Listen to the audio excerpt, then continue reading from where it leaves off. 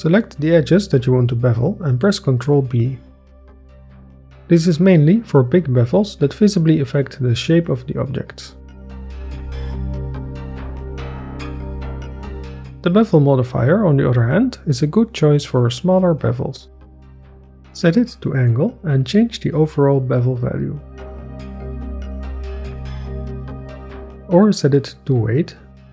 Then select the edges that you want to bevel and press Ctrl E, then choose Edge Bevel Weight. Now drag the mouse. The benefit of this is that you can get different bevels from a single bevel modifier. If your object has a single 2-edge bevel, you can make it look much smoother using a data transfer modifier and using a smoother beveled object as the source. Just make sure that the smoother object is in the same location and is hidden from view and from render view. In the modifier, face corner data and custom normals need to be enabled.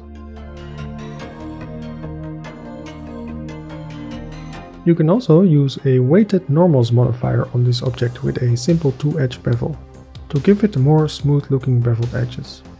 Then you don't need the custom normals from another object. If you quickly want to add nice beveled edges in a non-destructive way, using the bevel node is a good choice.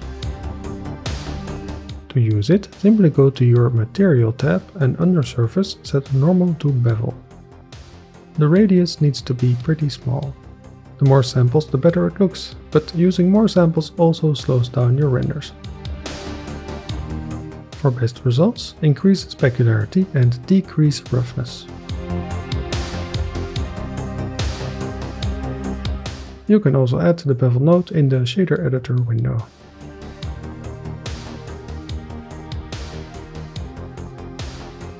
This only works in cycles and in rendered view.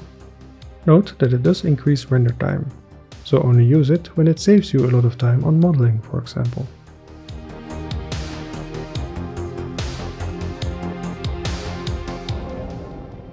Press Ctrl B to bevel an edge. Scroll the mouse wheel to add edges. Press B and drag the mouse to change the shape of the bevel from convex to concave. Open the bevel menu for more options. Here you can still increase the segments and change the shape. If you have two beveled edges meeting at an angle, you can use an inner or outer miter to change how the corner is solved by the bevel. For example, miter outer arc or patch add geometry that can be useful in the course of retopology. Making stairs is easy with custom bevel profiles. Start by beveling an edge using the Ctrl B shortcut. Then open the bevel menu. Increase the segments and profile as needed. Turn on Custom Profile. You can now choose several presets. There's also a support loops option. You can even create your own custom profile. Bevels are essential for making, for example, your hard surface models look more interesting and realistic. But in some cases you may not get the desired result. Let's look at some possible solutions. N-gons, or faces with more than 4 vertices, can ruin the fun. In this case, joining these two vertices by selecting them and pressing J solves the problem. Modifier order is important too. Sometimes, slightly moving the cutter object is all you need to do. Double geometry can also spoil the fun. Select all vertices in edit mode and press M, then choose by distance.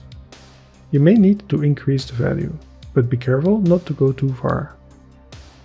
Similarly, geometry can just be too close together, for example with these edge loops. Select them and slide them with double G to give your bevels some breathing room. Finally, make sure that your object has its scale applied. If not, you may get inconsistent bevel results.